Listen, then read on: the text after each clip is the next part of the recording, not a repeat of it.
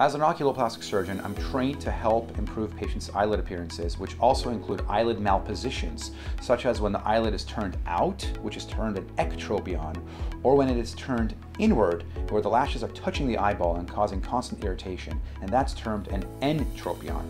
Let's talk about these two procedures. An ectropion, as you can see here, is where the eyelid is turned out and it, creates a lot of symptoms of discomfort and tearing and oftentimes even an infection in the eyeball and this is a procedure that I perform uh, routinely in my office to help improve the patient's appearance and function of their eyelid. Now, an entropion is similar to an ectropion in that the lid is loose, but it's turned inward, and so that also needs to be repaired. Patients suffer from constant irritation, and as you can see in this lovely patient's condition, the eyelashes are literally touching the eyeball, and so that needs to be repaired through an entropion repair, similar as an ectropion repair, but a fine different nuances involved in that procedure, and that's why patients come see me for